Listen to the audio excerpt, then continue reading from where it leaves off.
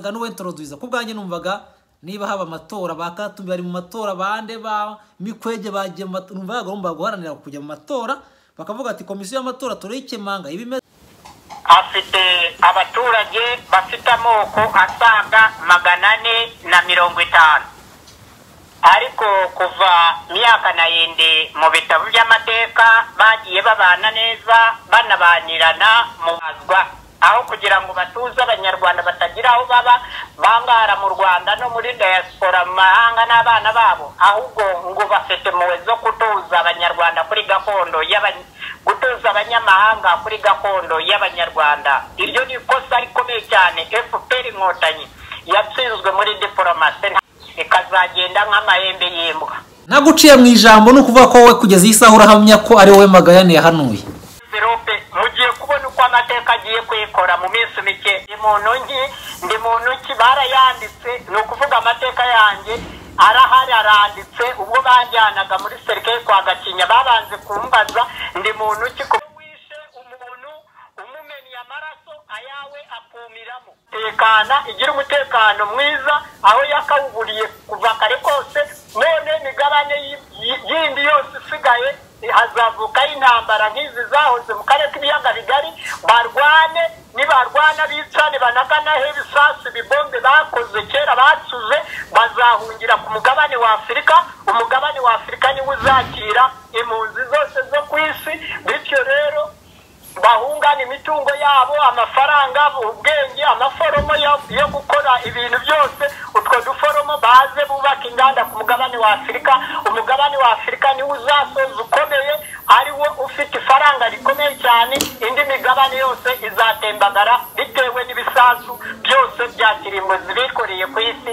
Ni uko isi izarangira imeze imigabane yose ikomeye isenyutse afurika niyo igiye kuzazamuka kandi u rwanda nirwo ruzaba umurwa mukuru wa afurika noneho afurika izaba ifite ibipande eh, bitanu igipande cy'amajyaruguru igipande cy'amajyepfo igipande cy'amajyi- cy'iburasirazuba n'icy'iburengerazuba iyo ni imijyi ikomeye cyane no muri afurika hagati rwagati yayo habemo umurwa ukomeye cyane ari wo uzaba kigali. Urumva ibyo izo ntara eshanu zikomeye cyane zizaba muri afurika zizashyiraho ubuyobozi buzaba ubuyobozi nyabuyobozi bizaba ko ari ryo herezo ry'intambara ku mugabane wa afurika Eh, murakoze cyane kuri iyo ngingo. Ngo intambara muri DRC izarangira amahoro aboneke u Rwanda rugira amahoro akarere kagira amahoro bigende neza Eh, kuko iyi minsi ujya wumva ko hari ubuhanuzi tugenda twumva nawe wagiye ubwumva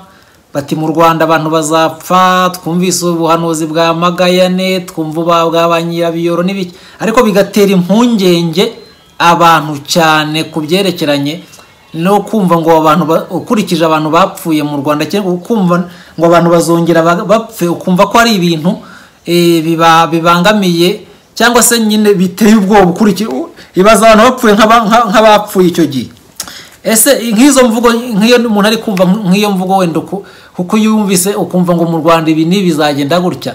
Iba ari imvugo ya, gihanuzi biba byarabaye biba ari ibizaba koko cyangwa se bizaba. Nkamwe mumenyereye ibyo bintu wenda uvuga uti "Ni- nanjye ni umuhanuzi. Nk'ibyo bintu muba mubyumva gute Eh, muri make ubu ufite impungenge nawe ko akarere mu karere hano igihugu kimwe nk'u rwanda kizahura n'ishyano kitigeze gihura naryo mu bitabo by'amateka. Ni ukuvuga mu rwanda abefuperi inkotanyi kubera bakabye ubutegetsi nta mihango ya gakondo yabanze gukorwa n'abanyiginya kandi bari barashizeho ubutegetsi muri mu ngoma karinganganzi babanze gukora imihango yo kwimika umutegetsi no nta mutegetsi wimaga ingoma ngo amare imyaka makumyabiri n'itanu. Iyo yazanaga uruvi rumwe mu mutwe bahitaga bamusomesha kumunywesha rero ni ukumusomesha bamuha ikirozi. Ikirozi ni cyo muri gakondo nyarwanda eh, burozi eh, barogeshaga abantu bahereye ku mwami. Bityo rero icyo gihe baramusomeshaga agapfa atarengeje imyaka makumyabiri n'itanu ku butegetsi. Ubwo warambye mu bitabo by'amateka ariko abandi bose bagendaga bapfa kare kare kare. Ni muri urwo rwego abanyiginya ni uko bari barateguye igihango cy'ingoma yabo y'ubutegetsi. Abega batigeze bamenya pasiwadi y'ubwo butegetsi n'imitegekere y'abo banyiginya ni ukuvuga kuva ku ngoma y'abatembuzi gihanga ngoma ijana yaje aturutsemo mu bunyoro kitara empire. Atungukira gasabo kuri ku kiyaga cya muhazi hariya mu cyitwaga komini murambi ku kiyaga cya muhazi hariya ni ho gihanga ngoma ijana yatungukiye ashinga ubutegetsi abana n'abaturage b'abahinza ba kera yaza ahasanga bafite ubuyobozi abana nabo agenda azana bwa bukoryo bwakuye mu batembuzi mu banyoro baramukunda bagenda bamushyigikira bashyigikirana arangize arabiganza ababana umutegetsi.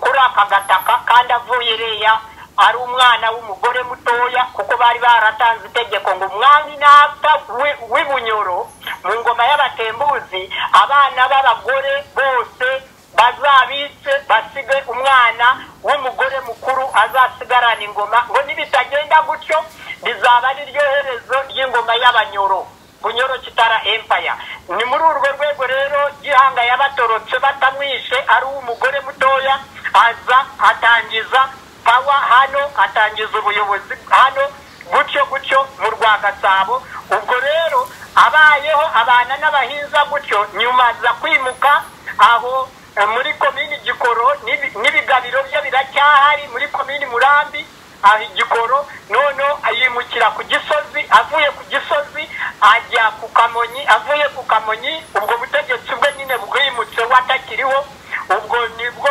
bajyaga i nyanza ubutegetsi babwimurira i nyanza muri totora muri totoroge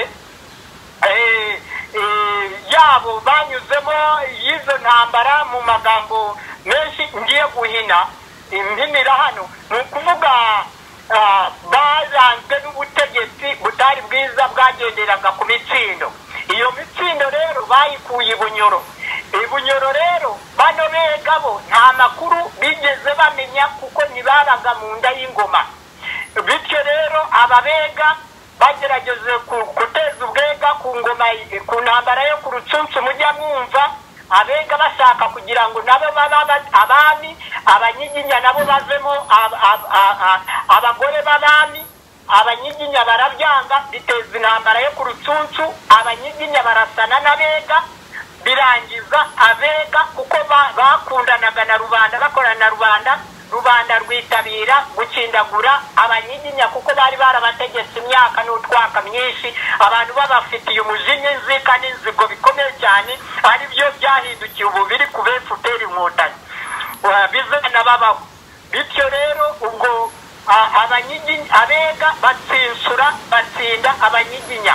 Abanyiginya bakwirakwira imiswaro bamwe bahungira kongo basangayo b'abanyamurenge ba byinshi iriya babayo. Uzakora ubushakashatsi nusanga kongo hariya bega uzangayo uzasanga habayo abanyiginya gusa. Ariko bavuga ko abandi bagenda bega n'abanyiginya bamaze gushwana gutya abanyiginya bayabangiye ingata batishwa batarakinduwe y'abanyarwanda abega bakindura abanyiginya babarimburana n'utwana twabo. Bityo rero abanyiginya bagiye abega basigara bitegura kugira ngo bashinge ubutegetsi. Ubwo ni bwo hazaga repubulika irya repubulika ronari ishyaka rya cyami noneho n'iryabahabya rya repubulika rya repubulika noneho bategura amatora bateguye amatora nyina wabo wabaga i nyanza noneho barabajyana bageze i bugande abageze i bugande noneho we aragaruka aba muri repubulika kuki abarepubulika batamwishe n'abandi banyarwanda? Kuki bagumye muri repubulika hano? Abo bitwa iby'amoko ndashaka mberurire kwa kibazo atari amoko yose atari afite akaboko mu ngoma mu rwanda mu butegetsi baba abatutsi baba baba abatwa babanye neza muri iki gihugu.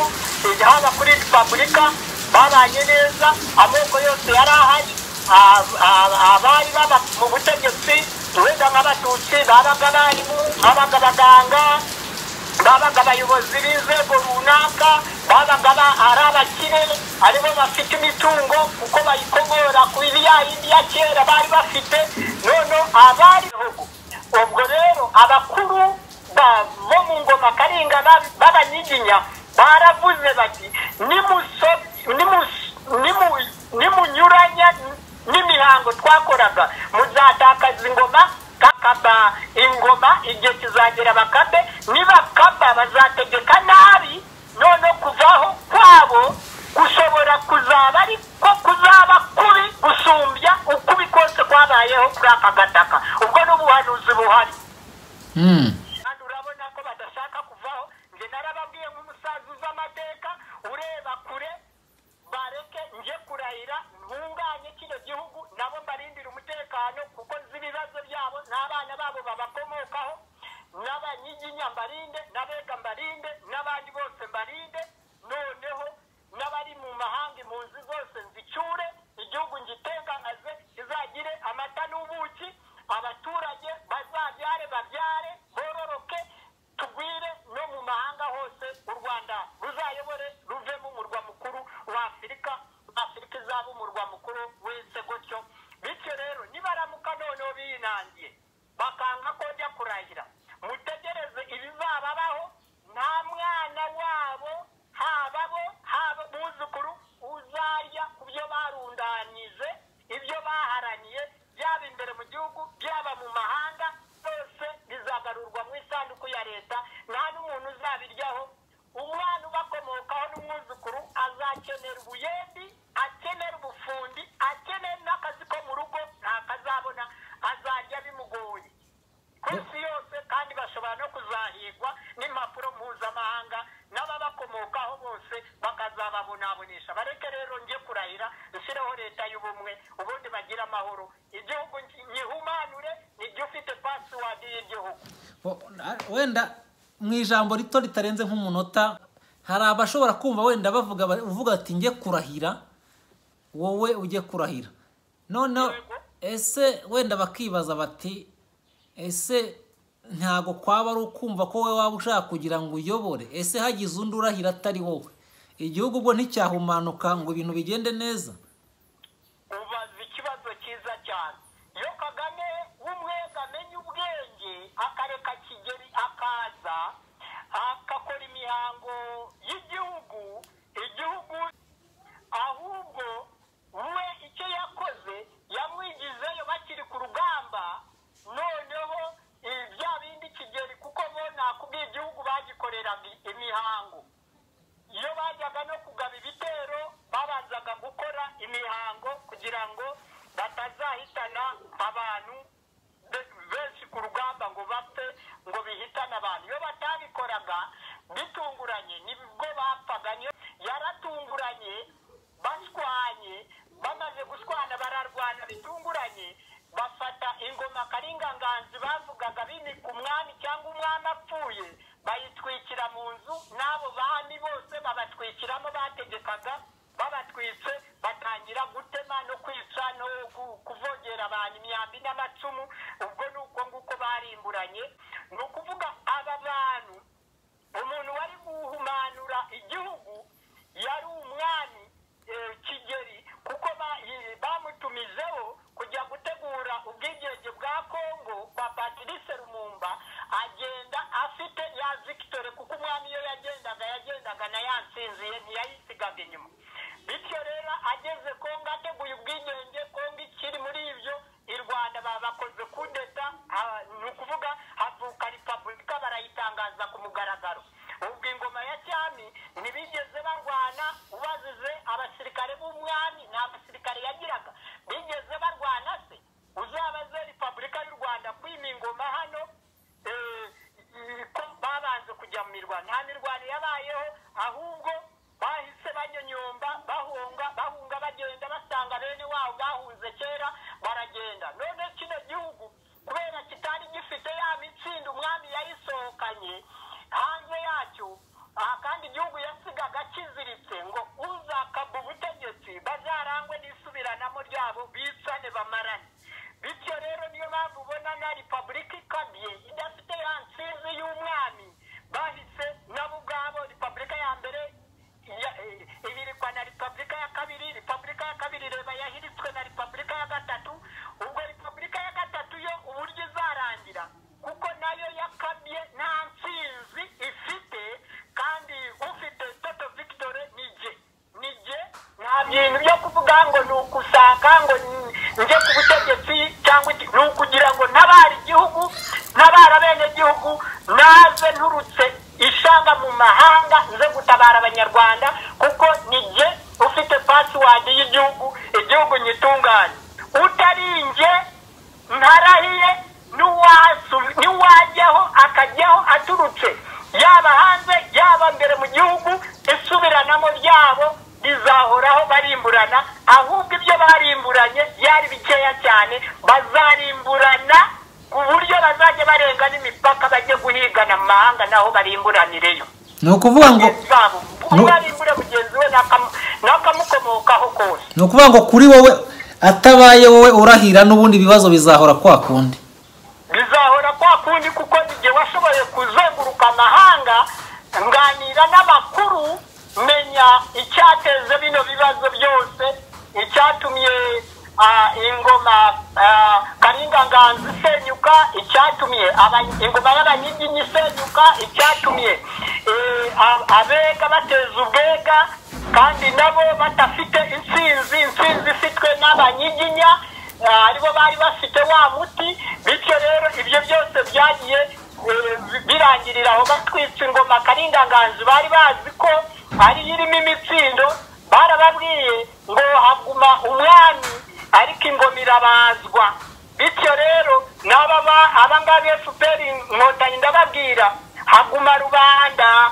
Ariko umwe fpr inkotanyi aravuka akava ku isi. Kandi rubanda rukaba rwakenera kubaho. Bityo rero begure nje kurahira igihugu ngitengamaze nababwiye bazakurikire mu bitabo by'amateka ko umunsi nzajya kurahira imvura izagwa igaragaza ko kizaba ari ikimenyetso cy'amahoro. Icya kabiri nitagwa nzamanika ikiganza cyanjye cy'amahoro mu kirere kamera n'amavidiyo zose n'amafoto azasohoka ku isi yose muzabona ikimenyetso gikomeye cyane. Kuko ibyo mpamvu mbibabwira nzi ko ugiye kubibwira isi yose niyo mpamvu uzabona perezida wa ruda yambaraga ingofero y'uruziga nk'ukwezi gukuze n'idarapo ry'abaruda ari umubumbe nk'ingofero ya perezida wa ruda nk'ukwezi gukuze nk'umubumbe w'isi. Bityo rero abantu bose batazi impamvu yabyo ibyo byose nzabibabwira ngiye kurahira mbabwire imvo n'imvano y'amateka y'u rwanda n'abanyarwanda. Guhera mu bunyoro kitara empire mu batembuzi. Abatembuzi bavuyeho basimburwa n'aba- na- n'abacwezi abacwezi bavuyeho basimburwa n'ababito. Ababito bavuyeho basimburwa n'abanyoro. Abanyoro basenyutse havuka abagande havuka u rwanda uganda burundi tanzania kenya gutyo gutyo. Nabyo nzababwira imvo n'imvano yabyo n'amazina yabyo icyo asobanura. Buriya abantu babona uganda ntibazi ijambo uganda risobanura iki? Babona kenya ntibazi kenya bisobanura iki? Ibyo byose nijya uriho kuzasobanura ibyo bintu mbibwire n'amahanga yose bose bazatangara bumirwe kandi ibintu mbabwira mubifate nk'ukuri kwa nyako u rwanda n'abanyafurika babonye igisubizo cy'amahoro babuze imyaka na hindi ibinyejana byose ni muri urwo rwego nababwiragamo bibiri cumi na karindwi. Nibampomba usibye no guhomba bazahomba banahombane. Ubu mbaza abanyarwanda bagezehe bahombana. Gusa ariko uko bizagenda wenda icyo nakubwira hari byinshi tuzaganira nzaguha ibimenyetso Mm, uzabaze mu rwanda ko nge ngiye kwambuka uyu mupaka mm. eh, no ku mugabane wa afurika uzababaze mu- kuri uyu mugabane wa afurika nimba hari umuntu wigeze umbona m- m- mvuka maze umwa- u- u- umunsi umwe kuri uyu mugabane wa afurika cyangwa ngo ave am- yambo ambonye cyangwa uko yambonye maze n'isaha mvutse nk'uko nababwiye mu bitabo by'amateka hari impamvu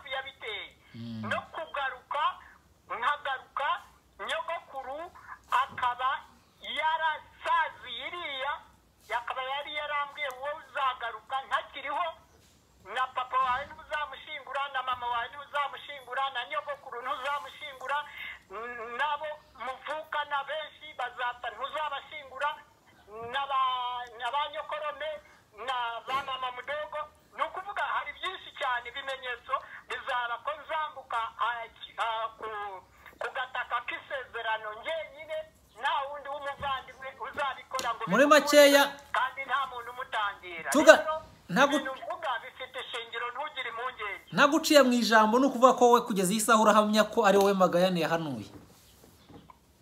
Reka abanyarwanda babifate batyo ariko kugeza aya magingo urumva ko ibanga riracyari muri envelope. Mugiye kubona uko amateka agiye kuyikora mu minsi mike iri imbere. Icya mbere muri gihugu gitoya cyane kizengurutswe n'ibihugu byinshi. Umutungo kamere dufite ntabwo ari mwinshi cyane ni mutoya. Ikindi turi benshi cyane miliyoni cumi n'eshatu ku buso turi igihugu cya kane ku isi gifite ubucucike. Nyuma ya za singapore na- n'ahandi. Ikindi amateka yacu ntabwo ari meza mu karere. Buri muntu wese hano utarahunze afite umuvandimwe we wahunze. Utarahunze itanu n'icyenda yahunze icyenda na kane. So akarere twarakayogoje twa- twagateye akajagari. Baraturambiwe So, ni ukuvuga ko turyanye hagati yacu ntitugifite n'aho kwihindira. So by obligation tugomba kubana byanze bikunze nta handi dufite. Ashinga umuhate wenda utarakomeza.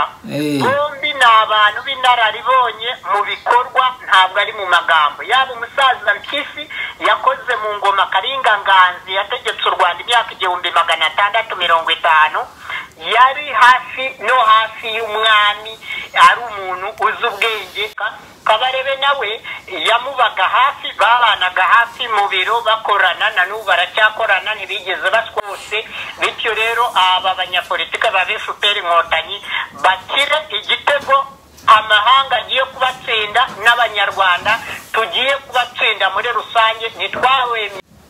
Ni ukwiyerurutsa naho ubundi bo baratsinzwe naho mpyisi we urumva eh, amatwi n'abakene bose n'ababoyi n'ababoyikazi. Bose bose bo noneho rero icyo nshaka kugira ngo kubera iki nka kabari ufite ijambo eh, rikomeye muri mu- muri ubwo butegetsi muri ubwo butegetsi bwabo kubera iki? Batagenda ngo bicare nk'abategetsi ngo bavuge bati sasa tutiriwe tujya kubibwira rubanda kuko rubanda bo baregizekita bashyira mu bikorwa icyo tubabwiye. Twarababwiye ngo ngo basenyeranire barirukanka nibo bafata iya mbere mu kujya gusenyeranirana biramenyerewe mu rwanda. Iyo tubabwiye tuti murandurirana imyaka nibo bayirandurirana nta cyo badaterana ngo babe ari bo ubwabo bafata umwanzuro baze bavuga bati twemeye bya bindi abanyarwanda mudusaba. Ahubwo bakaza kubivugira ku karubanda. Ukoze neza cyane kuzamura kirize y'icyo kibazo. Kuko kuki atabivuze? Akiri umugabe mukuru w'ingabo akizi n'ibibazo by'abasirikare abizi atabivuze akiri minisitiri akabivuga bamukubise irya demobu avuye mu nzego z'ubutegetsi kuki ari bwabivuze bazamushimuta ngo bamujyane muri gereza we buzacya mu gatondo yazabo n'imiryango yabo ntibazaduhombe kandi nibiha ibintu byo gushaka uduhomba bazahomba usibye no guhomba bazanahombana. Rero twavuga tuti ijambo ni iryawe kuri iki kintu kigendanye n'aba bantu bo muri repubulika iharanira demokarasi ya kongo n'iyi ntambara. Kuri ngewe uburyo nyihagazeho kuri ngewe. Iriya ntambara uko nabibonaga mu gihe kongo bari guharanira hariho habaho amatora. Amatora akaba ari amatora kuko n'u rwanda rwashyigikiye yuko ariya matora yagenze neza. Icya mbere kabira barakoranye ba- kabira ava ku butegetsi arabu- arabutanga rwose yatsinzwe mu matora. Ndetse n'u rwanda rushyigikira kisekedi wari uriho barekorana imigenderanire. Kisekedi bagirana amasezerano menshi za rwandeya gucukura za zahabu na za koruta n'ibindi n'ibindi nk'uko kongo ibivuga.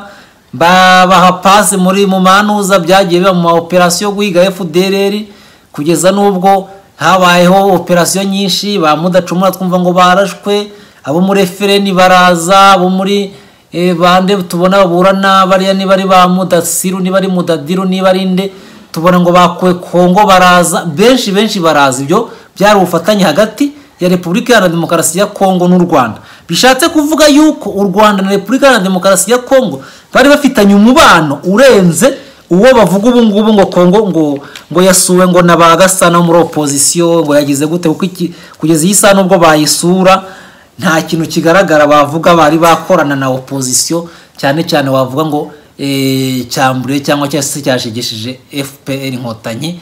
Birenze ibyo kongo yakoranye na fpr inkotanyi nka kongo mu gushegesha abagiye bahari cyangwa se mu gucyura abagiye bahari kuko hari nabo bigaragara bagiye bamwe bapfa abandi bakaza mu buryo badashaka. Ariko nyuma tuza kumva ngo umubano byahinduye isura. Ari byo kongo yagiye bambura ayo masoko bari bafite n'ibindi n'ibindi umubano umera nabi. Umubano mu kuba nabi hazaho ikibazo gikomeye cyane kigendanye n'uko abanyarwanda bajyagayo no guhahirayo ibi bibazo ni- n'inzara kameme irumvikana igomba kuboneka abajya guhingirayo abajya kuzungurizayo birukanywe mu rwanda gucururizayo n'ibindi. Kuri ngewe rero numvaga kiriya kibazo ahanini kigendanye n'intambara kuri ngewe ariko. Ibyo ndabivuga nk'umunyapolitike kuko kuba tuvuga ngo twiyemeje intamba urugamba rudafata intwaro cyangwa rudashyigikira intwaro nta nubwo twashyigikira yuko habaho urugamba rutera ikindi gihugu cyane cyane ko kongo amerika n'ibindi bihugu bigenda bivuga biti u rwanda rutera kongo ariko u rwanda ruteniye mu makumyabiri na gatatu ni abakongomani barwana ubwabo uwabatera wese ntabwo mbishyigikiye. Ari abakongomani. Njyewe nshyigikiye ko bajya mu matora batsindwa batsindwa bakagira gute? Bagafata imyanya batsindiye kuko turabumva abo bita ngo ba ruberwa bande benshi benshi bagiye barimo. Bariya barwana twumva bari abasirikare muri kongo ba makenga n'abandi ngo bari abasirikare muri repubulika ya demokarasi ya kongo. Sinzi icyo gihe bajya kuvamo uko byari bimeze niba ubyibuka barafinda aratubwira uko bagiye bavamo. Ariko aho nasaga n'uwentroduiza ku bwanjye numvaga niba haba amatora bakatumbi bari mu matora bande ba mikwege bagiye numva bagomba guharanira kujya mu matora bakavuga ati komisiyo y'amatora turayikemanga iba imeze gutya na gutya utsinzwe hariho perezida utsinze arayobore utsinzwe avuga ati natsinzwe ariko ubutaha nzakomeza ngerageze ubu se ko muri kenya bahora ko ntawe urafata imbunda muri ba Raila Odinga. Ko bahora mu, guhangana. Ubuze ko banuza muri uganda banuza bahanganye na museveni ko batarafata imbunda. Ko baharanira ubuze twe ko tutarazifata. Ngo duhangane kuki duharanira amahoro? Twagombye gushyigikira yuko habaho amahoro kurusha uko habaho intambara. Ok reka ngo ijambo kuri icyo kintu yego murakoze cyane rwose kuri iyo ngingo muzamuye ni nziza cyane. Kongo drc zayire ya kera ni ukuvuga amateka ya kiriya gihugu. Afite abaturage bafite amoko asaga magana ane na mirongo itanu. Ariko kuva myaka na yindi mu bitabo by'amateka bagiye babana neza banabanirana mu buryo budasanzwe. N'ingoma z'ibihugu bikikije zayire drc ya none na byo bari babanye neza ushingiye kuri leta ya repubulika y'u rwanda kuva yava muri karinga karinga yavaho hakaza repubulika. Repubulika y'u rwanda yabanye neza na zayire ariko ubu ntibabanye neza. Tanzaniya barabanye neza n'uburundi babana neza se no kubana neza baranabaniranye. Uganda baturana neza basangira akabisi n'agahiye ku kiyaga cya lake albert basangiye bahana imbibi icyo na cyo ntibigeze bakirwaniraho ngo bagipfe basangiye ibinyamazi neza n'amazi babisangira neza n'ingendo zo ku mazi bahanahana n'abagenyi n'ubutwererane ubushuti byose diporomasi muri make yagenze neza ku bihugu byose bihana cyangwa byahanaga imbibi na drc kuva kare kose. Ahubwo abefuperi inkotanyi ni ikihe gihugu batari banganaho kuva baza ku butegetsi ni igihe gihugu batigeze bagirana amakimbirane kuri ibi bihugu bahana imbibi na byo usibye bahana imbibi na byo n'ibya kure baratunganye nk'ubufaransa nk'ububirigi nk'ubutaliyano ubwo za roma zose ugiye ukareba ibihugu byinshi intara za rena paratina bagiranaga ubutwererane biri hehe? Ibyo ntibikivugwa ubwo bara- barashwanye ubwo amerika bari bashudikanye bari hehe? Buri munsi u rwanda rutsindwa. Imanza muri amerika no mu bindi bihugu byose bafite imanza nyinshi batsindwa urumva diporomasi baratsinzwe. Ikindi mu buraya baratsinzwe muri diporomasi ngo bajya kujyana abimuki- gufatayo abimukira ngo babazane mu rwanda babatuze neza kandi abanyarwanda bangara batagira aho baba n'ababa imbere mu gihugu nabo babasenyera nabo bangazwa. Aho kugira ngo batuze abanyarwanda batagira aho baba bangara mu rwanda no muri diaspora mu mahanga n'abana babo. Ahubwo ngo bafite impuhwe zo kutuza abanyarwanda kuri gakondo y'aba- gutuza abanyamahanga kuri gakondo y'abanyarwanda. Iryo ni ikosa rikomeye cyane fpr inkotanyi yatsinzwe muri diporomasi ntacyo ishoboye byayiviriyemo imanza irazitsindwa ubwo n'ubwongereza burababwira ayo twabahaye ku- kutunga izo mpunzi muyadusubize bagahita bavuga turagatsembwa ibere. Ntabwo twayabaha ahubwo twayatemeraho agataka numvise mukuru arinda avuga yuko ngo azafasha abanyarwanda. bakazashwanira kuri iyo ngingo ukazabona ubwongereza bufatanyije na amerika na isirayeli bamanura ibitwaro i kigali bafasha kisekedi bakuraho karinga n'abana bayo n'abuzukuru bayo. N'efuperi inkotanyi muri rusange ikazagenda nk'amahembe y'imbwa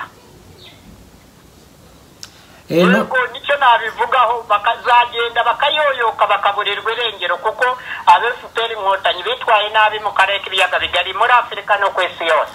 Eh, aho wari uvuze ingingo igendanye no kuvuga ngo ati amafaranga numvise ejo bundi mukuru arinda ati ariya mafaranga ntabwo tuzayabasubiza tuzayakoresha ibikorwa ah, bifitiye abanyarwanda akamaro Ah, niba baza ariya mazu tuzahera kwa ariya mazu eh, bu- bubatse niba ariko nta na yo bubatsemo dayeri ariya mazu yari ahasanzwe kuko amwe numvaga ngo ni wane bayimuyemo abari bayarimo yari ama- m- mazu yubatswe n'abaterankunga b'amahanga bayubakira abana b'abacikacumu eh, mu rwanda bahita babirukanamo bahita bategurira za munzu abo bantu bayabagamo bose ubu babamariye muri gereza ubwo abandi barabishe abandi n'izererezi ni abakene ni abahanya ni abatindi ni abadirigi ubu babakubitse mu cyiciro cya mbere cy'ubu- cy'ubudehe. Ubwo babakoze ubudehe.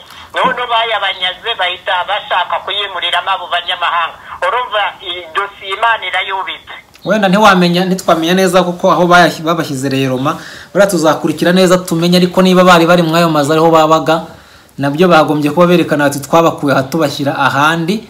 Bari mwibi. Ubwo tuzamenya ayo mazu ikindi kintu azakora twabonye ari impunzi zo muri libiya ziza hano twari turikiri muri repubulika iharanira demokarasi ya kongo. ashinga umwate. Iyo haza kuba ah, ari impuhwe cyangwa ah, ari ku neza ya kiremwamuntu bariya bari kuguma muri ya mazu bubakiwe n'abo banyamahanga. Atari leta ya fpr inkotanyi siyo yabyubatse yanabibashimuse nibabikuramo atari bo banabibubakiye ahubwo ari abanyamahanga b'abagizi ba neza babyubakiye abo bakene bo mu rwanda.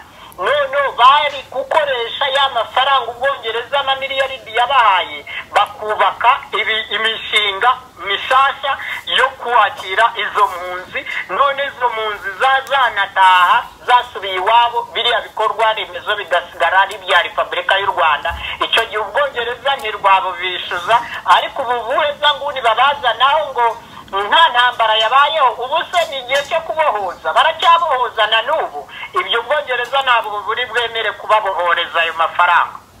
Tuzareba ikizakurikira ubwo niba hazaca uwambaye ariko numvise ko bakiri ngo mu biganiro ngo by'ukuntu byagenda bahindura amategeko bagira gute ariko itegeko mu bwongereza ngira ngo riba ari itegeko bitandukanye no mu rwanda burya bahindagura uko bukeye uko bwize ngo bagendera ku nyungu z'umutegetsi ukuriye guverinoma. Hariya minisitiri w'intebe ari nka perezida wa repubulika mu rwanda minisitiri w'intebe bamukuraho ako kanya bagashyiraho undi.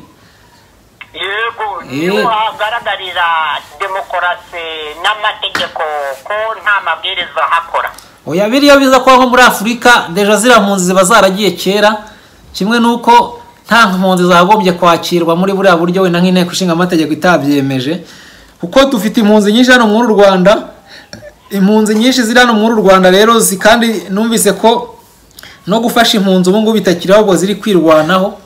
Kwirwanaho mu gihugu kimeze gutya abantu bavuga bati dufite ikibazo cy'imibereho n'ibindi byose byananiye abanyagihugu na byo ni ibibazo. Twari turikiri hakurya Vuze neza barimo kwirwanaho ayo babagenera umuryango w'abibumbye yabagenera fpr inkotanyi bayatwara mu mishinga yabo bakikungahaza niyo mpamvu bareba abaturage bo hasi bakabasuzugura. Ikindi gikomeye cyane nanone uzitondera mm, muri bano bantu Ah, wibuke mbere bakitangira kwakira abasomaliya n'abanyayisopiya kera muri za bibiri na kangahe. Bakabazana iwabo hari ibintu bica ibintu bimeze nabi hari umutekano muke. Abo nabo baburiwe irengero baragiye ntabwo bigeze batwara ibyo bari babahaye kubatungisha. Bagiye bazigitira bugande burundi tanzania drc eh, gutyo gutyo bagenda. Abo niko barangiye niko byarangiye. Ubu n'aba ngaba rero amafaranga bari kubabesha ngo ngo ngo ngo na yo kuzana impunzi ntabwo ibyo bibaho nta mpunzi zagombaga kuza kuri aka gataka ka repubulika y'u rwanda nk'uko twabyamaganye mbere mu ikubitiro nawe kuri ganza ni kuri senda no mu ruda mukuru n'abaruda n'abarudakazi n'uturuda duto tutarafata irangamuntu twarabyamaganye mboneyeho umwanya wo kubigushimira kubera ibyo twahirimbaniye twaharaniye twabigezeho kuba abefuperi inkotanyi batsinzwe mu rubanza mu bwongereza bajya kunegosiya muri politike natwe tuzahagarara tuhaguruke twemye tunegosiye muri politike muryango w'abibumbye no rwego mpuzamahanga. Ariko ibyo bikorwa bya efuperi inkotanyi bihemukira ikiremwamuntu tubiteberezemo. Mm. Ha- hano rero turi iyo tuganira ibi- ibiganiro nk'ibi ngibi ahanini tuba turi no muri bya biganiro byiza byo kubanisha abanyarwanda no kubana neza kw'abanyarwanda. Ejo bundi kabare kandi dukora evaluation tunasesengura tuyungurura ibyo umusaruro w'ibiganiro twakoze icyo wamariye rubanda ikiremwamuntu ku isi yose. Ni ukuvuga ngo duheruka kumva ijambo ry'umuyobozi hano ukomeye mu gihugu wabaye minisitiri w'ingabo generali kabarebe ngira ngo wararyumvise. Vuba hano yunga mu ryampyisi ngo bahuye n'ikibazo cy'intambara bahungira he mu bihugu bahana na byo imbere ngo hose ko ba- ba- babogoje ngo bogoje akarere ngo bakamereye nabi yego niryo ushaka kuzamukiraho? Nibyo nshaka kugira ngo nzamukireho. Nzamukira ku bya kabarebe cyane mvuga nti wowe nkawe iyo urebye ubona ari iki fpr koko iri gukora muri uyu munsi kugira ngo ibe ibyo yabanisha neza abanyarwanda? Cyangwa se izo mpungenge ifite kuko irazifite Eh, kuko zahereye ku musaza ukomeye cyane ufite imbaraga wabaye buriya mpyisi abarusha ubwenge kuko afite imyaka ijana bariya n'abana batoya kuri we cyane yahereye ku bwami araza kuri za repubulika bimpunzi agira gute? Ariko umuntu wibaza biriya ni ukuvuga ko hari ibintu byinshi aba ari kubona. Kabarebe nawe arabizimiza. Ariko mu by'ukuri kabarebe arakomeye muri fpr inkotanyi. Kugeza iyi saha ni iki kibura fpr inkotanyi iri gukora? Niba yarabonye ibyo bintu burya kuri kabarebe. Kabarebe yari umusirikare i bugande mu ngabo za museveni za nrm arangije ahita yambuka imipaka aza kuba umutegetsi ukomeye mu gisirikare n'abaminisitiri mu zindi nzego muri repubulika y'u rwanda. Ahita yambuka n'imipaka ajya kongo ahaba umugabe mukuru w'ingabo kandi n'umuntu wo hafi kuri kabila perezida wa repubulika wa drc urumva ntiyagarukiye aho. Yakomezaga no gusigasira ingabo zo mu karere k'ibiyaga bigari bashyira hamwe in- in- ingabo zo zasigasira amahoro aho ahungabanye mu buryo bwo gutabara bwihutirwa. Ni ukuvuga ibyo avuze byose abikoresha ubunararibonye ababivuganye ubunararibonye nta guhubuka ntabwo ah, aba abivuze ngo bitamuturutse mu ndiba y'umutima we. Ni ukuvuga abavuze ibintu kubera amaze gutsindwa kuko uri kumutsinze yemeye icyaha ku mugaragaro ko bahungira he koko ko akarere batagafashe neza n'abanyakarere? None bishatse kuvuga ntabwo nari mbizi ko kabarebe yabaye umusirikare muri uganda ntabwo ibyo byo nari mbizi nari nzi ko hose hose baze bose ari abantu bitwaza imitutu hose aho bambukaga imipaka babaga bitwaza imitutu gusa. Eh, nari nzi ko ya- yatangira yitoreje wenda mu ishyamba batangiye urugamba. Ok icyo na cyo ndakisobanukiwe ntabwo nari nyizi. Bo ah, ni byo rero twari turi kuvuga tuti ese mu by'ukuri ajya kuvuga biriya kuko burya eh, ujya kuvuga ikintu ni uko hari- aba afite impungenge y'uko icyo kintu gishoboka. Buriya ni uko se abona ko gishoboka cyangwa se eh, na mpyisi ntekerezaho kukivuga nawe nuko yabonaga burya ntabwo ushobora kwibaza ikintu uzi ko kidashoboka. Ntabwo hashinga umuhate wenda utarakomeza. Eh. bombi ni abantu b'inararibonye mu bikorwa ntabwo ari mu magambo. Yaba umusaza mpyisi yakoze mu ngoma karinga nganzi yategetse u rwanda imyaka igihumbi magana atandatu mirongo itanu yari hafi no hafi y'umwami ari umuntu uzi ubwenge ari umujyanama hafi aho. Ikindi o, kigira ahunze n'ubundi yamubaga hafi. Ni ukuvuga ni n'umudive mukuru akuriye n'abadive mu karere eh, k'ibiyaga bigari muri east african community ni we ukuriye eh, wanayoboye itsinda ry'ubudive bukuru ah, ku rwego rwa afurika urumva ni umuntu ukomeye cyane n'imirimbanyi mu idini ni n'imirimbanyi muri politike kandi ni n'umuntu wategetse no mu ngoma ya cyami no muri wabivuze na n'ubu aracyahari aracyahumeka kabarebe nawe yamubaga hafi babanaga hafi mu biro bakorana na n'ubu baracyakorana ntibigeze bashwana bari no muri leta yabo ni indyohe ya fpr inkotanyi ariko noneho icyo ugomba kumenya ubu kabarebe ibintu yavuze na mpyisi yari yamubanzirize kubivuga ni ukuvuga ntabwo byabatunguye hasigaye kagame kubivuga nawe akatura n'abandi bose bazature tubasaba bature ko ibintu biremereye ingoma iremereye bayihe perezida wa ruda ashireho leta y'inzibacyuho Eh, iyo leta y'inzibacyuho nyiyobora imyaka itanu tutegura amatora ayo matora azazane leta ya demokarasi nziza kandi yihuse ishyiremo abanyarwanda abari imbere mu gihugu n'abo mu mahanga bose. Bityo rero aba banyapolitike ba fpr inkotanyi bakire igitego amahanga agiye kubatsinda n'abanyarwanda tugiye kubatsinda muri rusange ntitwahwemye kuvuga ko abesuperi inkotanyi bakora amakosa akomeye cyane bagendaga bayi- badashaka kudutega amatwi ku maradiyo yose twabivugaga ariko tujuru ibyo twavuze iryo twavuze irya mukuru riratinda ntirihera riratashye none ikibazo rero buri wese abantu benshi bibaza yego. kubera iki kabarebe cyangwa se mpyisi? Wenda reka two kuvuga mpyisi kuko mpyisi nyine wasanga afite ijambo mu badiva ariko atarifite muri guverinoma. Nka kabarebe mpyisi we afite ijambo aravuga rikumvikana aho ritandukanira n'iry'abakabarebe nk'abategetsi bo baravuga rikijyana ariko ntirigereyo ngo ryumvikane. Niho bitandukanira. Eh, ni ukuvuga ngo mpyisi aravuga rikijyana rikumvikana rikumvikana undi aravuga rikijyana kandi ntirigereyo ngo rigere muri rubanda. Ah, none se kubera icyaho ryijyana ni cyo ndi gushaka kugira ngo biriya bintu aze kubivugira eh, wenda kuri ku- ku- ku- ku- kuri media ni ho kubwira abanyarwanda se ko yarivuze aho ryagombye kugira ngo rigere rigahura na obstacle cyangwa se rikagira ikirisitaza mu nzira wenda ari nko kuvuga ati eh, abantu mutazumva ko ntavuze. Nicyo bose byaba bishatse gusobanura.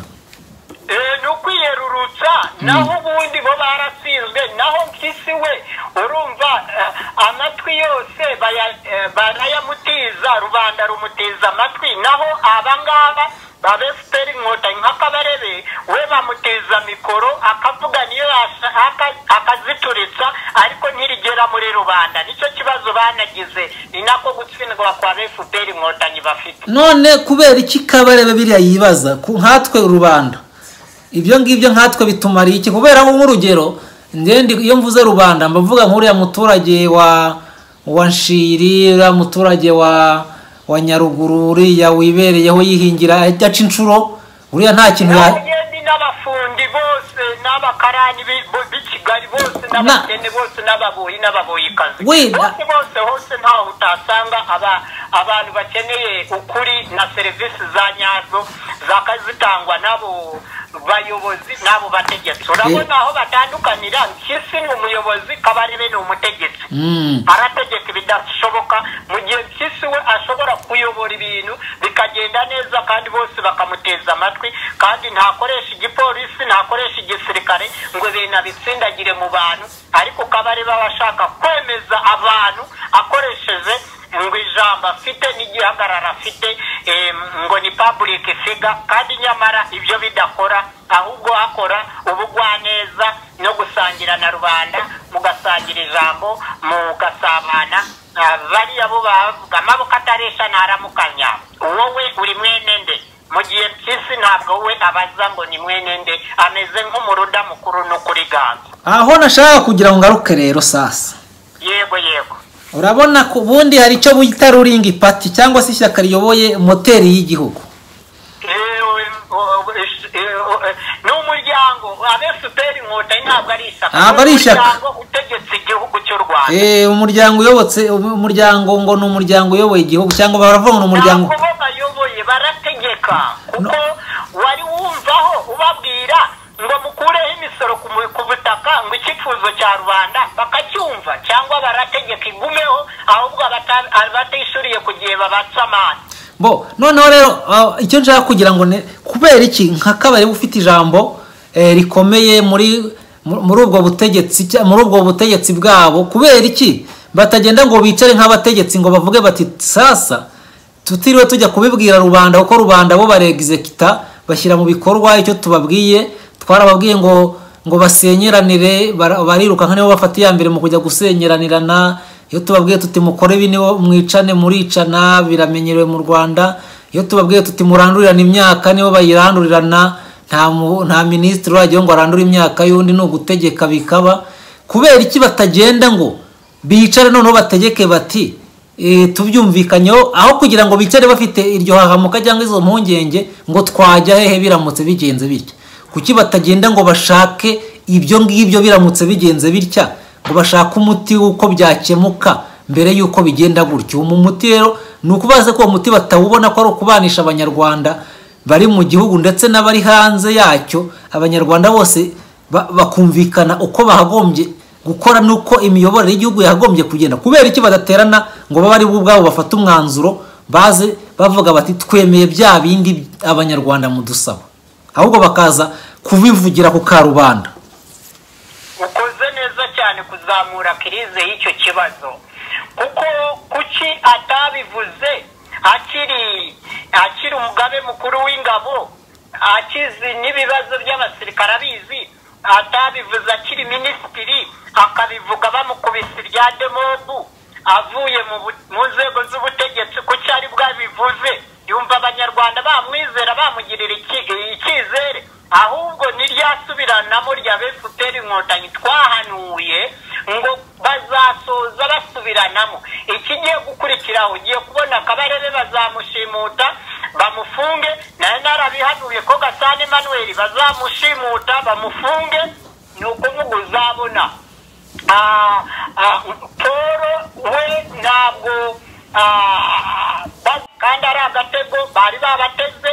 Ni ukuvuga babundikiye ibibi bya efuperi inkotanyi. Ntibashaka ko hazaza ubuyobozi bushyashya bugasanga bagihari ahubwo ibyo baharaniye basigasiraga bashaka kugira ngo bizasigare muri kirisito venture n'abana ba efuperi inkotanyi babo abo babyanditseho bazabazungura. Naho iriya kipe yose ya efuperi inkotanyi bagira uko bazi guhera hejuru bose kugera hasi murabizi ndi umuhanuzi w'ukuri kandi umunyapolitike mwiza w'amahoro. Bityo rero ni ukuvuga kabarebe abivuze ari ukubera ari pawaresi nta mbaraga agifite eh, ameze nka ya dendo ikuze cyane itagishobora no kuzamura amababa. Ni ukuvuga aravuga aho kugira ngo eh, mpe ntarivuze kampe ndivuze wenda bahite banyica befuperi inkotanyi umukotanyi mukuru ahita amwivugana ariko yarivuze. Ubwo urumva afite byinshi azabwira rubanda mu gihe azaba ataricwa bataramushimuta azavuga n'ibindi n'abandi nabo bazavuga n'ibindi. Dukunda bavuga batubwize ukuri eh, bazaveho batubwize ukuri ko akarere gukenesha abanyarwanda batubwire icyo bari bagamije gukenesha abanyarwanda no kububakira amagereza cyane. Iyi myaka murabona ko nta ntambara iri mu rwanda. Ariko abafunzwe mu magereza ubu ngubu baruta abafunzwe muri mirongo icyenda na kane na gatanu na gatandatu na karindwi kugeza za bibiri. Iyi myaka nk'itatu nk'ibiri amamiliyoni y'abantu bafunzwe mu rwanda aruta abigeze gufungwaho. Urumva abanyarwanda bakeneye kugira ngo bibohore bajye kurekura abagenzi babo bari kuborera mu magereza abo bakabarebe urumva yafunze bake ariko abana babo bo bafunze benshi. Urumva abana babo rero bakomereza aho base na ba nyina bagarukiriza mu kubonabonesha abanyarwanda. Ubwo mperembanye ni muri urwo rwego zigomba gutabara eh, zigatabara n'abo bajenerali nk'abaruda n'abo kuri ganza mirimbanyi tukazabarindira umutekano wabo n'ibyabo n'imiryango yabo ntibazaduhombe kandi nibiha ibintu byo gushaka uduhomba. Bazahomba usibye no guhomba bazanahombana. Ubu ni ubuhanuzi buzababaho buzabaturiraho kandi buzabashikira. Ndi umuruda mukuru ndabahanuriye rero. Ndumva ari bwa buhanuzi bwaba bugarutsemo ati kabarebe biriya kubivuga nawe ni ati kuri wowe urabona ko ari ryasubiranamo barimo ba- ba- barimo cyangwa se kuvuga ati ni wahandi reka ndikoshore. Ariko kuri wowe mu- muri make ni ho kuvuga uti we yumva ko abantu bahagombye kumvikana cyangwa se bakabana neza muri iyo kontegisite mu mahoro kubera ko ibintu biramutse bihinduye isura abantu bagasubiranamo ubuhunzi buryana cyangwa nta hantu abantu bahungira. Niko wowe ubibona neza cyane. Bano bana babo mbita ibinyange bya perezida wa ruda. Bino binyange bya perezida wa ruda ni abana bapfira nikubite banyoye ikivuguto barya inyama barya ibintu byose byiza ntabwo bigeze babaho mu buzima bubi abo ni ibinyange byacu bityo rero ah, amateka yabaye ku ba se na ba sekuru Ah, amateka yisubiramo ubundi nyuma ya buri myaka makumyabiri n'itanu kugera kuri mirongo itatu amateka yabaye ku babyeyi banyu ahita aba no ku bana babo. Bityo rero afite impungenge kubera amaze gukura yaranyuze muri bibi bidahesha n'imana icyubahiro bisuzuguza umunyarwanda bi- bihohotera umunyarwanda. Ubwo amaze kugera mu myaka y'ubunyangamugayo atangiye kwigaya agaya n'abandi bafatanyije guhemukira abanyarwanda. Nta zindi mpuhwe kandi ikindi iyo wishe umuntu umumennye amaraso ayawe akumiramo. Bityo rero afite impungenge ko aya n'abana be bamushimbuye mu kazi nabo akazabumiramo bakavuga se ko tudafite n'ubuhungiro ko tutahungira mu mahanga? Abana bacu se b'ibinyange nk'ibiriya perezida wa ruda avuga bo bazahungira he? Bazabana bate?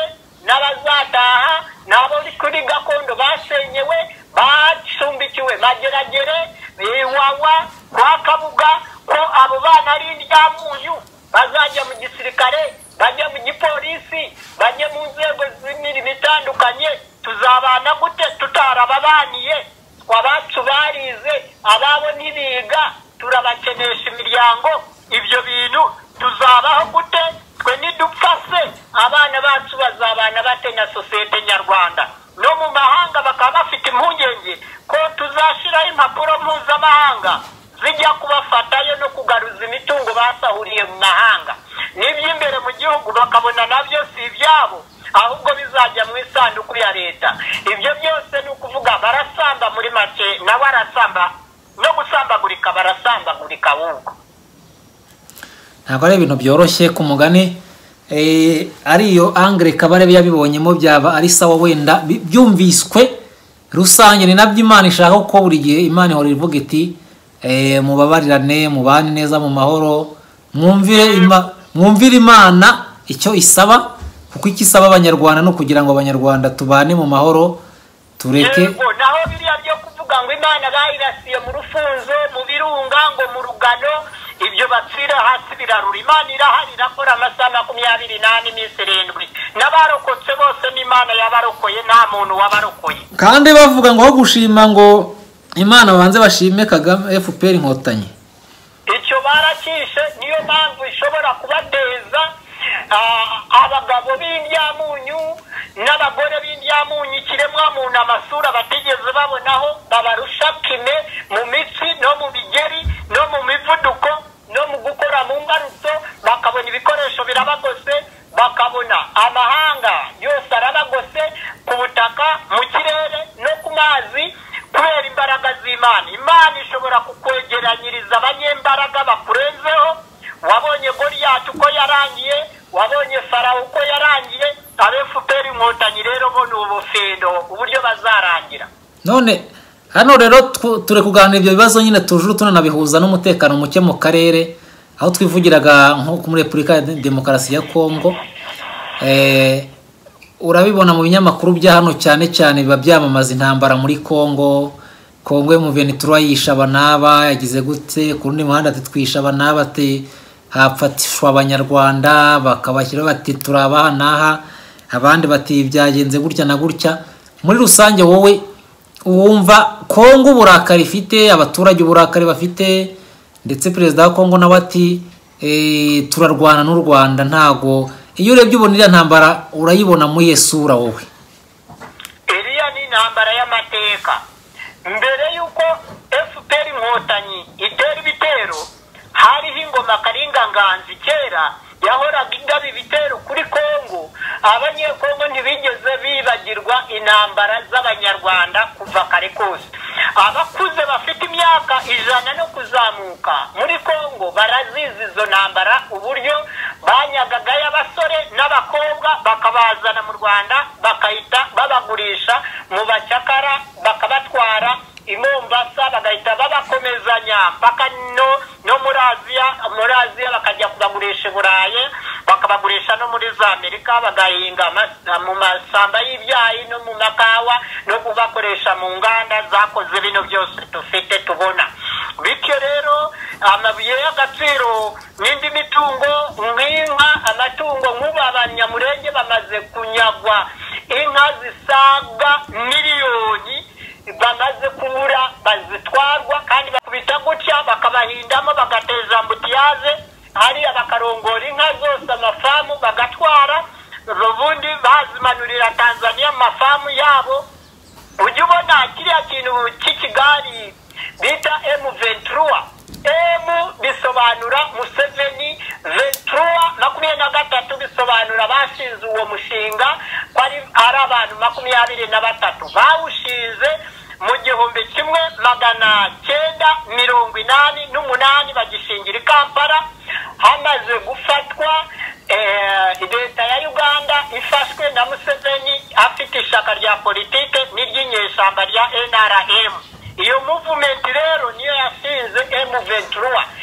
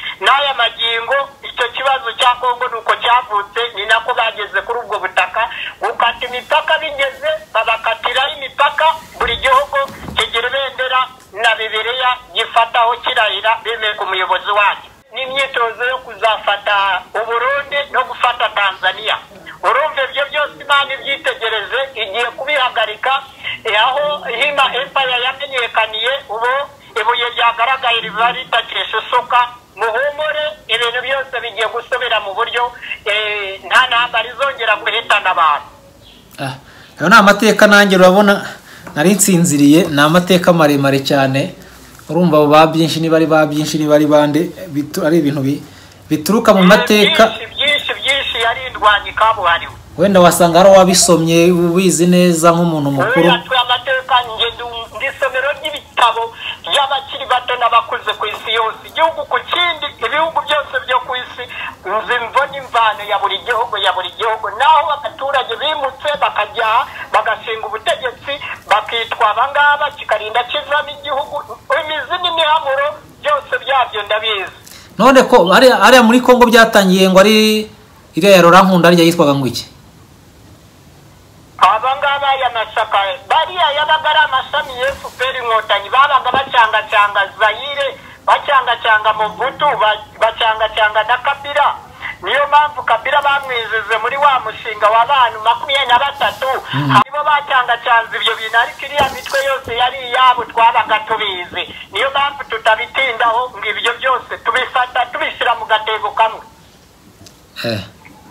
Ariko niba harya ngo uvuga ngo byari byaratangiye muri za mirongo irindwi na.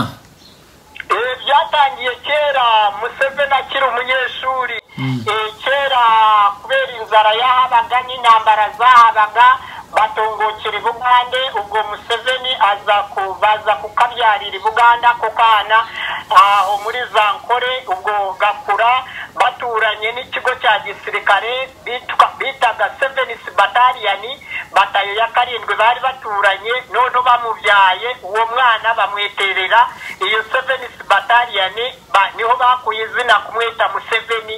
Ubwo nawe uko nguko izina rya museveni akura afitemo ya maraso yo gukunda igisirikare aho yavukiye bamubwiraga amateka ko yavukiye hafi y'ikigo cya gisirikare. Nk'aba bana ba perezida wa ruda uko bose bavukiye ku kigo cya gisirikare no mu kigo cya gisirikare cy'i kanombe. Urumva bakura bakunda igisirikare. Uwo mwana rero yakuze ahiga avuga nzakubita kino gihugu cy'ubugande gifate ntambuka uyu mutekano muke uzarangira kagame avuyeho na museveni avuyeho ni bwo afurika n'isi yose bizatungana. Ese kuki nk'iyo twumva muri uganda twebwe abantu tuba turi nk'aha ngaha? Wenda numvise ko ibyo bintu wenda byatangiye kwa uba hari n'ab'inkotanyi wenda niba iyo mishinga koko niba yaba yari iriho cyangwa yaragize gute nabo babyumva kuko icyo gihe bana bari bataravuka ari abana ariko kubera iki muri uganda usanga umutekano ari furu abaturage ntawurira bose bavuga bati museveni eh, gucuruza usanga ibintu bimeze neza. Mbega usanga ko abaganda imibereho yabo baba bari muri deyambiri ibyo kurya barabifite barahinga mu bwisanzure ntaho twumva basenyera ntawe barandurira imyaka. Kuki muri uganda twumva wumva ubuzima bwaho na, na demokarasi muri rusange? Wumva ko babesige wenda baba bagiye no mu matora ariko ntawe bafunga ngo bamuhezemo bamurege ibyaha hano mu rwanda ba bobi wayine bande bose ugasanga harabaho nibura guhangana nubwo byagera mu matora bikagenda ukundi. No mu mibereho y'abaturage. None kubera iki museveni we mu miyoborere y'ubona eh, uganda hari ukuntu hariho diferanse mu mibereho y'abaturage na hano? Ukoze neza cyane icyo kibazo ni cyiza cyane. Uriya ni umuntu bita kanjyara. Kanjyara ni umuntu wiyoberanya eh, bamwita ubundi osi manyanga. Umuntu w'umwosi manyanga ni umuntu ugira ubwenge udashobora gufindura utapfa agatahura ako kanya keretse eh, umuzi neza waranatindanye nawe ibyo byose warabikurikiranye nk'umushinga uhamye hamwe. Ni ukuvuga uriya yabaze neza aravuga n'impungabanya mu karere mu gihugu nyoboye bizatuma iby'imishinga iri ishamikiyeho ntazayishobora. Kuko yapanze nimba amaze yari yamaze gupanga nrm aho bakorana imishinga noneho bahite bagaba igitero kuri drc DRC bagezeyo barasahura amabanki amabuye y'agaciro bacukura biki byose inka abantu mani pawa byose abanyabwenge ibikoresho koranabuhanga buri kimwe cyose. Tingatinga imodoka esanse buri kimwe bamanurira i bugande ibindi bagabana ba- bazana i kigali. Gutyo gutyo ni uko bagabanye ibyo bintu. Buyoya we nawe bari ari muri uwo mushinga ariko we bamuhaye bike. ntabwo ntabwo yahungukiye cyane nk'i kampani uko bahungukiye cyane n'i kigali. Ubwo rero ni muri urwo rwego rero ubona kongo ifite ibibazo bikomeye cyane. Ubwo urumva iyo niyo ntambara ya nyuma izaba muri aka karere. Nta yindi izongera kubaho mu karere k'ibiyaga bigari. Na afurika izatekana kubera akarere k'ibiyaga bigari kazatekana. Abayobozi b'amahoro twarahasesekaye kandi tuzi amateka turi isomero ry'ibitabo by'amateka. Ni ukuvuga ngo turi kurangiza turi kugana ku musozo. Ndagira ngo iyi ntambara ya kongo irimo ubu ngubu ivuga ko iri kurwana na M23 mu isura y'u Rwanda kuko ariko ibivuga tubivuga nk'uko ibivuga urabona iza niyo mpamvu bayita M23 RDF cyangwa RDF M23 ah, inyuma bashyigikiwe na NRM urabona iza- urabona izarangira gute kuri wowe? Tuzarebe ko uzakabya inzozi. Oya nje ntabwo ari ugukabya inzozi ahubwo nge ni ubuhanuzi bw'ukuri. Uburyo bizarangira bizarangira kongo igize amahoro izagira amahoro ni ukuvuga abefuperi inkotanyi bazabura aho baregama ku isi yose nibatemera ko tujya kurahira dushyireho leta y'inzibacyuho nabo bazibonemo dushyireho leta y'inzibacyuho nyiyobora imyaka itanu itegure amatora noneho haboneke perezida nyaperezida noneho tubarindire umutekano n'ibyabo byose n'ababo. Nibampomba usiye no guhomba bazahomba banahombane kandi hazabaho impapuro mpuzamahanga zizabashakisha ku isi yose barivukije ayo mahirwe nk'uko nari nabahaye amahirwe ya mbere ngo tumanuke muri arusha kabiri national constitutional concordance arusha tu ubu nkaba naramaze gutangaza ejo bundi eh, muri uku kwezi turimo itariki nabahaye ya nyuma yo kujya arusha yabaye kaso dawutu amahirwe yarusha kabiri barayarase barayahombye nta gihari. Ahubwo amahirwe basigaranye bandeke njye kurahira mbarindire umutekano wabo n'ibyabo n'ababakomokaho n'inshuti zabo. Bitari ibyo kambabwira uko bizarangira. Fpr inkotanyi izabura gakondo n'abanyamurenge bemuventuruwa bazabura kongo bazabura n'u rwanda n'fpr inkotanyi izabura kongo izabura n'u rwanda. Muri make ni uko bazasoza bameze. Ni uko ibyabo bizarangira. Ni ukuvuga ngo wowe uko ubibona ni uko bizarangira batsinzwe. Noneho hari aho wavugaga urebye ukabona ko mu kibazo cy'akarere utunga urutoki cyane cyangwa herekana hagati ya uganda n'u rwanda wenda mu kubuza umutekano aka karere. None se bizaba ibyo byose ababiyobora cyangwa abafite imbaraga muri icyo gihugu tuvuge nk'ubutegetsi eh, bwa fpr ubwa nra buzaba bwaravuyeho nabwo bwose kugira ngo amahoro azabe yarabonetse. Ukoze neza cyane. Urumva kaduhere e- e- e- e- e- e- kigali. Kagame nk'uko nabihanuye ko hagiye kuzaba impfu zikomeye cyane. Abantu bakomeye cyane eh, bamwe barapfuye abandi ntibarapfa eh, ibyo bizabaho noneho i- bugande museveni nawe azapfa namara gupfa umwana we we bazamwica ni ukuvuga nk'uko kabira mukuru wabonye ko yapfuye kabira mutoya arazikina arazikina ariko diporomasi ya kisekedi ikamutsinda ni ukuvuga bose nta n'umwe uzasigaraho muri abo batoza bose n'abatozejwe bose intambara bateguye igiye kuzaba icyo bita ebumeranga. Umutego mutindi uzashibukana ba nyirawo.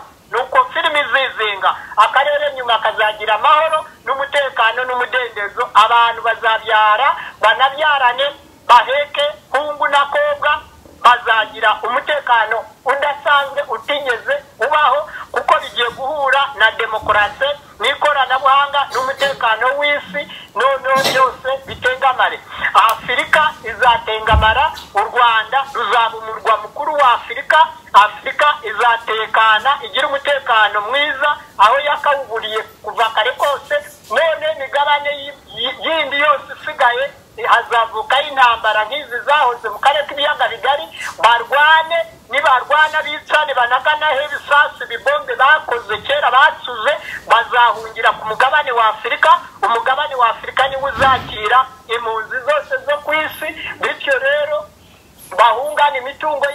amafaranga ubwenge amaforomo yo- yo gukora ibintu byose utwo duforomo baze bubaka inganda ku mugabane wa afurika umugabane wa afurika niwo uzasoza ukomeye ari wo ufite ifaranga rikomeye cyane indi migabane yose izatembagara bitewe n'ibisasu byose bya kirimbuzi bikoreye ku isi ni uko isi izarangira imeze imigabane yose ikomeye isenyutse afurika niyo igiye kuzazamuka kandi u rwanda nirwo ruzaba umurwa mukuru wa afurika noneho afurika izaba ifite ibipande eh, bitanu igipande cy'amajyaruguru igipande cy'amajyepfo igipande cy'amajyi- cy'iburasirazuba n'icy'iburengerazuba iyo ni imijyi ikomeye cyane no muri afurika hagati rwagati yayo habemo umurwa ukomeye cyane ari wo uzaba kigali. Urumva ibyo izo ntara eshanu zikomeye cyane zizaba muri afurika zizashyiraho ubuyobozi buzaba ubuyobozi nyabuyobozi bizaba ko ari ryo herezo ry'intambara ku mugabane wa afurika Eh, murakoze cyane kuri iyo ngingo. Oh iyi ngingo yari ingingo iri kugana ku musozo ni ukuvuga ngo intambara yo muri DRC izarangira amahoro aboneke u Rwanda rugira amahoro akarere kagira amahoro bigende neza kuko iyi minsi ujya wumva ko hari ubuhanuzi tugenda twumva nawe wagiye ubwumva bati mu rwanda abantu bazapfa twumvise ubuhanuzi bwa magayane twumva bwa ba nyirabiyoro n'ibiki. Ariko bigatera impungenge abantu cyane ku byerekeranye no kumva ngo abantu ba- ukurikije abantu bapfuye mu rwanda cyangwa ukumva ngo abantu bazongera ba- bapfe ukumva ko ari ibintu eh, biba- bibangamiye cyangwa se nyine biteye ubwoba ukurikije ibaza abantu bapfuye nk'aba- nka- nk'abapfuye icyo gihe. Ese nk'izo mvugo nk'iyo umuntu ari kumva nk'iyo mvugo wenda kuko yumvise ukumva ngo mu rwanda ibi n'ibi bizagenda gutya. Iba ari imvugo ya gihanuzi biba byarabaye biba ari ibizaba koko cyangwa se bizaba. Nkamwe mumenyereye ibyo bintu wenda uvuga uti "Eh, nanjye ni umuhanuzi. Nk'ibyo bintu muba mubyumva gute Eh, muri make ubu ufite impungenge nawe ko akarere mu karere hano igihugu kimwe nk'u rwanda kizahura n'ishyano kitigeze gihura naryo mu bitabo by'amateka. Ni ukuvuga mu rwanda abefuperi inkotanyi kubera bakabye ubutegetsi nta mihango ya gakondo yaranze gukorwa n'abanyiginya kandi bari barashizeho ubutegetsi muri mu ngoma karinganganzi baranze gukora imihango yo kwimika umutegetsi no nta mutegetsi wimaga ingoma ngo amare imyaka makumyabiri n'itanu. Iyo yazanaga uruvi rumwe mu mutwe bahitaga bamusomesha. Kumunywesha rero ni ukumusomesha bamuha ikirozi. Ikirozi ni cyo muri gakondo nyarwanda eh, burozi eh, barogeshaga abantu bahereye ku mwami. Bityo rero icyo gihe baramusomeshaga agapfa atarengeje imyaka makumyabiri n'itanu ku butegetsi. Uwo warambye mu bitabo by'amateka ariko abandi bose bagendaga bapfa kare kare kare. Ni muri urwo rwego abanyiginya ni uko bari barateguye igihango cy'ingoma yabo y'ubutegetsi. Abega batigeze bamenya pasiwadi y'ubwo butegetsi n'imitegekere y'abo banyiginya. Ni ukuvuga kuva ku ngoma y'abatembuzi ijana yaje aturutsemo mu bunyoro kitara empire. Atungukira gasabo eh, kuri ku kiyaga cya muhazi hariya mu cyitwaga komini eh, murambi eh, ku kiyaga cya muhazi hariya ni ho ijana yatungukiye. Ashinga ubutegetsi abana n'abaturage b'abahinza ba kera yaza ahasanga bafite ubuyobozi abana nabo agenda azana bwa bukoryo bwakuye mu batembuzi mu banyoro baramukunda bagenda bamushyigikira bashyigikirana arangize arabiganza ababana umutegetsi.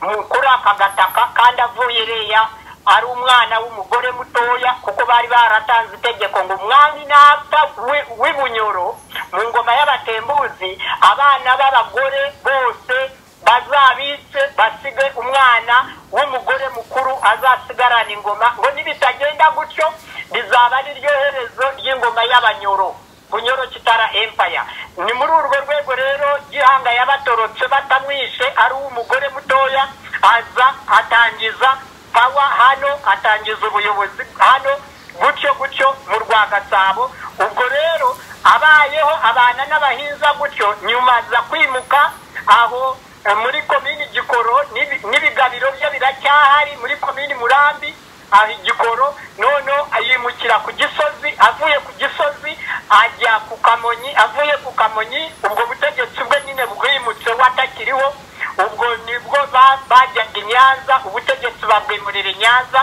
muri totora to- muri totoroge eh, eh, yabo banyuzemo y'izo ntambara mu magambo menshi ngiye guhina impinira hano ni ukuvuga ah, baranzwe n'ubutegetsi butari bwiza bwagenderaga ku mitsindo iyo mitsindo rero bayikuye i bunyoro i bunyoro rero bano bega bo nta makuru bigeze bamenya kuko ntibabaga mu nda y'ingoma. Bityo rero ababega bagerageje guteza ubwega ku ngoma ku ntambara yo ku rucunshu mujya mwumva abega bashaka kugira ngo nabo babe aba- abami abanyiginya nabo bavemo abagore b'abami abanyiginya barabyanga biteza intambara yo ku rucunshu abanyiginya barasana n'abega birangiza abega kuko ba- bakundanaga na rubanda bakorana na rubanda rubanda rwitabira gukindagura abanyiginya kuko bari barabategetse imyaka n'utwaka myinshi. Abantu babafitiye umujinya inzika n'inzigo bikomeye cyane ari byo byahindukiye ubu biri ku befuperi inkotanyi. Bizana babaho. Bityo rero ubwo abega batsinsura batsinda abanyiginya. Abanyiginya bakwirakwira imiswaro bamwe bahungira kongo basangayo b'abanyamurenge ba byinshi iriya babayo uzakora ubushakashatsi nusanga kongo hariya bega uzangayo uzasanga habayo abanyiginya gusa. Ariko bavuga ko abagabo abandi bagenda bega n'abanyiginya ah, bamaze gushwana gutya. Abanyiginya bayabangiye ingata batishwa batarakinduwe. Niho abega bakindura abanyiginya babarimburana n'utwana twabo. Mm, bityo rero abanyiginya bagiye abega basigara bitegura kugira ngo bashinge ubutegetsi.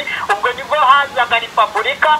Irya repubulika ronari ishyaka rya cyami eh, noneho ni- n'iryabahabya rya repubulika eh, eh, repubulika noneho bategura amatora bateguye amatora repubulika iratsinda ronari itsindwa ityo wabo wabaga i nyanza eh, noneho barabajyana bageze i bugande abageze i bugande noneho we aragaruka aba muri repubulika.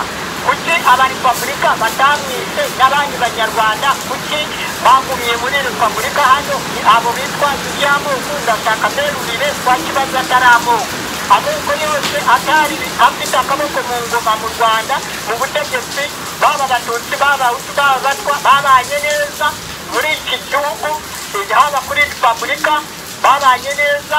Amoko yose yari ahari a- a- abari baba mu butegetsi tubeera nga batuuse babagabalimu babagabaganga babagabayobozi b'inzego runaka babagaba ari abakire aribo bafite imitungo kuko bayikogora ku bya yindi ya kera bari bafite nono abariho ubwo rero abakuru bo mu ngoma karinga b'abanyiginya baravuze bati nimunyuranya n'imihango twakoraga. Muzatakaza ingoma kandi abega bazakaba ingoma. Igihe kizagera bakabe nibakaba bazategeka nabi. None kuvaho kwabo gushobora kuzaba ariko kuzaba kubi gusumbya ukubi kose kwabayeho kuri aka gataka. Ubwo n'ubuhanuzi buhari. Mm. njye narababwiye nk'umusaza uzi amateka ureba kure bareke njye kurahira ntunganye kino gihugu nabo mbarindira umutekano kuko nzi ibibazo byabo n'abana babo babakomokaho n'abanyiginya mbarinde n'abega mbarinde n'abandi bose mbarinde noneho n'abari mu mahanga impunzi zose nzicyure igihugu ngitenganaze kizagire amata n'ubuki abaturage bazabyare babyare bororoke tugwire no mu mahanga hose u rwanda ruzayobore ruvemo umurwa mukuru wa afurika afurika izaba umurwa mukuru wese gutyo. Bityo rero nibaramuka noneho binangiye bakanga ko njya kurahira. Mutegereze ibizababaho nta mwana wabo haba bo haba umwuzukuru uzarya ku byo barundanyije ibyo baharaniye byaba imbere mu gihugu byaba mu mahanga byose bizagarurwa mu isanduku ya leta nta n'umuntu uzabiryaho. Umwana ubakomokaho n'umwuzukuru azakenera ubuyembi akenera ubufundi akenera n'akazi ko mu rugo ntakazabona azarya bimugoye.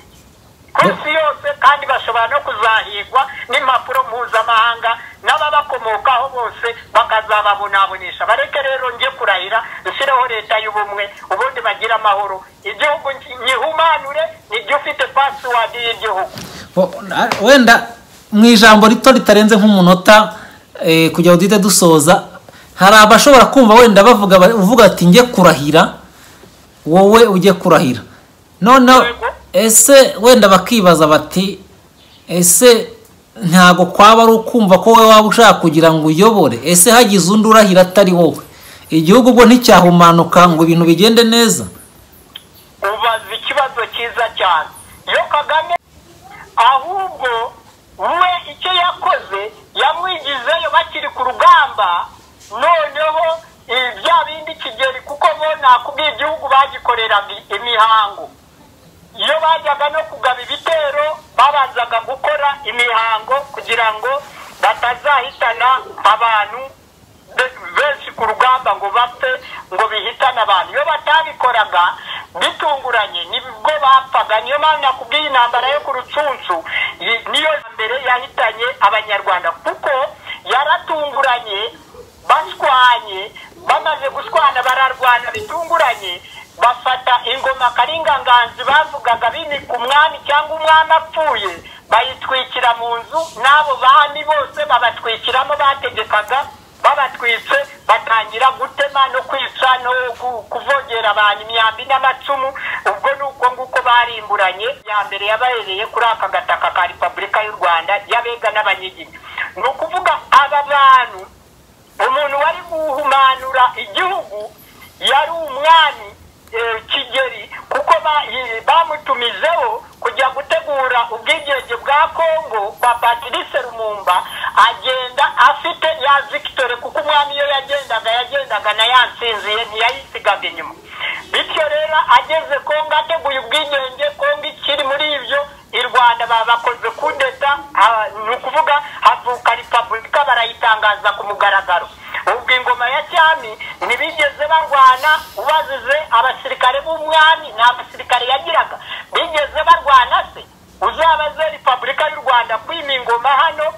Eh, ko babanje kujya mu mirwano. Nta mirwano yabayeho ahubwo bahise banyonyomba bahunga bahunga bagenda basanga bene wabo bahunze kera baragenda. None kino gihugu kubera kitari gifite ya mitsinda umwami yayisohokanye hanze yacyo aha kandi igihugu yasigaga kiziritse ngo uzakaba ubutegetsi bazarangwe n'isubiranamo ryabo bicane bamarane. Bityo rero niyo mpamvu ubona na repubulika ikabye idafite ya nsinzi y'umwami bahise nabo ubwabo repubulika ya mbere ya- eh, ihirikwa na repubulika ya kabiri repubulika ya kabiri reba yahiritswe na repubulika ya gatatu. Ubwo repubulika ya gatatu yo uburyo izarangira? Kuko na yo yakabye nta nsinzi ifite kandi ufite toto victoire ni jye ni jye nta bintu byo kuvuga ngo ni ukusaka ngo njye ku butegetsi cyangwa ni ukugira ngo ntabare igihugu ntabara bene gihugu naze nturutse ishanga mu mahanga nze gutabara abanyarwanda kuko ni jye ufite pasiwadi y'igihugu igihugu nyitunganye. Utari njye ntarahiye n'uwajyaho akajyaho aturutse. Yaba hanze yaba mbere mu gihugu isubiranamo ryabo rizahoraho barimburana ahubwo ibyo barimburanye byari bikeya cyane bazarimburana ku buryo bazajya barenga n'imipaka bajye guhigana mu mahanga naho barimburanireyo ni ukuvuga ngo umwe arimbure mugenzi we n'akamu- n'akamukomokaho kose.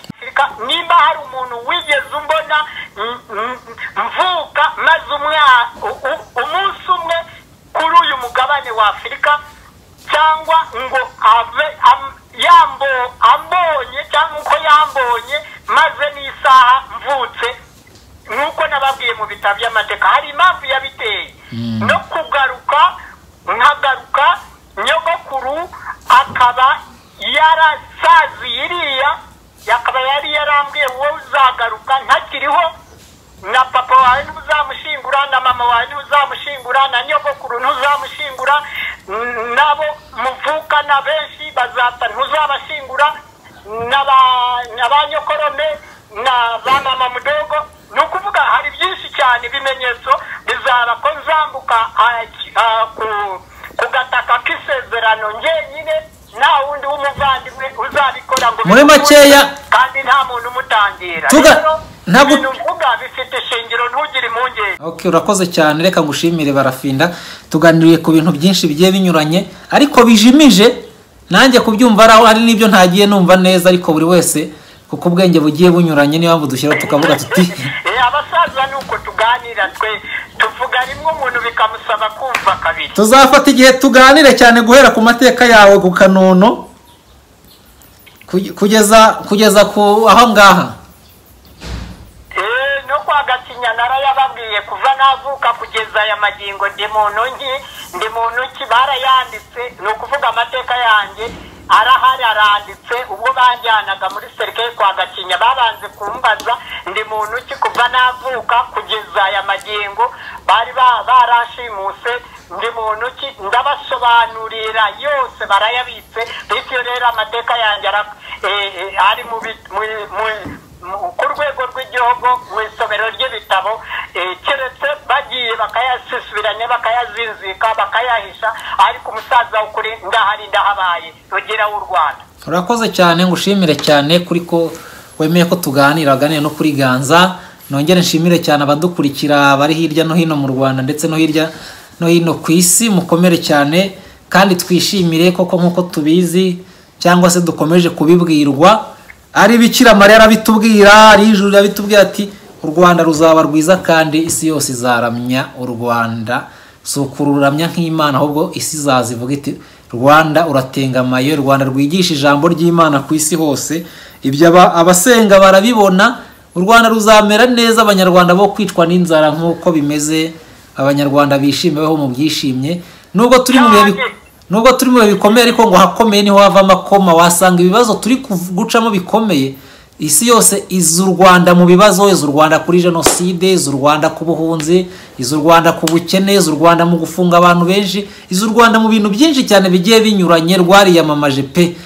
Wasanga ibingibi twiyamamaza bi- bi- ibingibi biri kugenda bigaragara ku isi yose. Ari byo bizatuma isi yose igarukira u rwanda bitewe n'igihe imana izaba idusubirije bigatuma tubasha kuvuga rikijyana ku isi hose tukagarura abantu bose kuri nyagasana ntimukabare rero kubera ibyago bibariho ahubwo mujye muvuga muti ibi byago uduhe kumwe kizito yaririmbye ngo iyo ntaza kuba mu mwijima sinari kumenya urumuri.